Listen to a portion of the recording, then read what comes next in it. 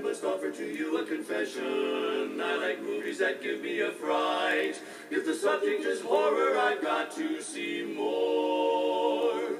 Or I won't be contented all night. You may call it my ghoulish obsession. It's a subject on which I get chatty. But the worst one, it seems,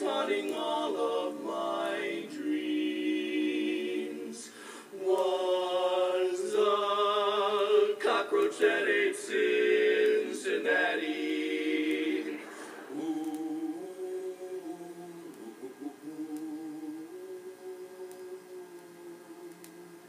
I've seen ghouls and hobgoblins and witches, and some moth-eaten werewolves with fangs. There were creatures that chattered, and others that clattered, and Japanese monsters with fangs. Dr. Frankenstein gives me the shakes, Count Dracula's driving me batty blood. But they're not half as bad as the worst scare I've had.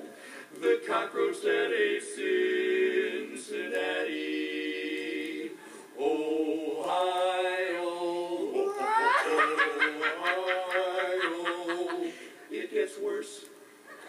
Oh, he must have needed a seltzer. Amazing how much he got down. For lunch he just chewed up a suburb or two. And for dinner he ate the whole town. Oh, Poltergeist sent me out laughing. I thought Jaws should have been a fish patty.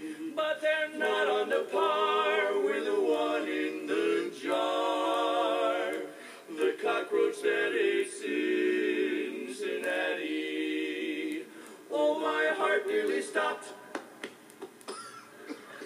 It will never be topped.